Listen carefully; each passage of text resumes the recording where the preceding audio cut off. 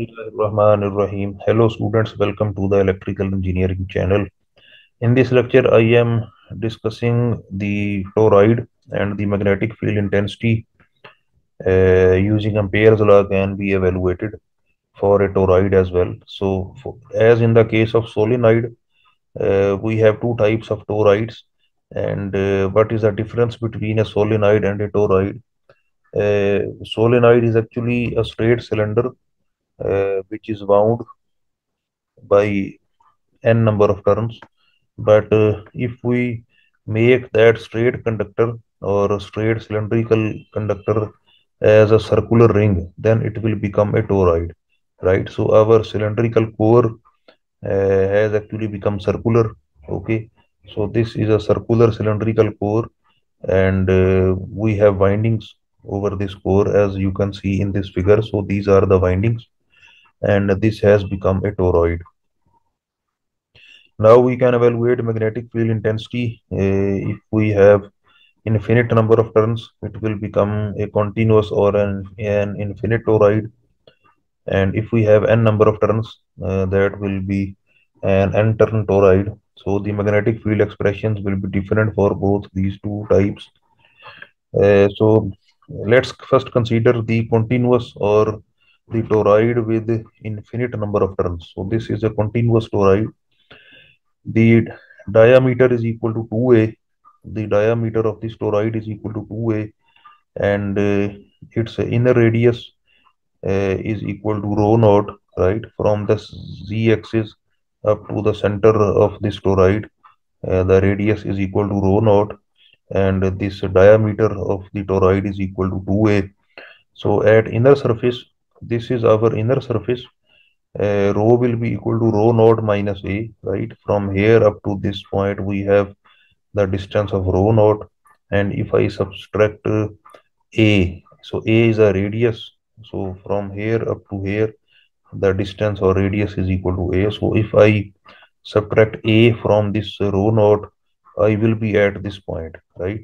And at this point the direction of current is upward so the current is flowing in the circular direction, but at this point, at the inner edge, the direction of current is along the z-axis and uh, the current is again distributed uh, over the surface of the toroid. So we have to consider the surface current density K and K is equal to KAAZ because at this point the direction of current is along the z-axis. So K is equal to KAAZ and the total current I will be equal to current density multiplied by the length of this curve. So the length of this circular inner ring is actually equal to the circumference of this inner ring and the circumference of this inner ring is equal to 2 pi r and the radius of this inner ring is equal to rho naught minus a as I have just told you. So the total current will be equal to Ka times 2 pi rho naught minus a. So that is the total current. Now let's apply Ampere's law for this current and h dot dl is equal to h phi into 2 pi rho right? So dl is actually rho d phi a phi. So h dot a phi will be equal to h phi. And if I integrate rho d phi from 0 to 2 pi I will get 2 pi rho. And let's equate this uh, h phi 2 pi rho to this total current 2 pi ka rho naught minus a. So then I will get h is equal to ka rho naught minus a over rho a phi and h is equal to 0 outside. So outside means here. Oh, so any any other point outside the toroid the magnetic field intensity will be equal to 0 and within the solenoid the magnetic field intensity is given as this expression and it will go on decreasing as we move away from the z-axis or as we increase this distance rho. So that is the expression for a continuous or an infinite turn toroid. For an n-turn toroid, we will have uh, such a scenario and here you can see uh, that the current filaments uh, are available and the current is flowing in all these turns.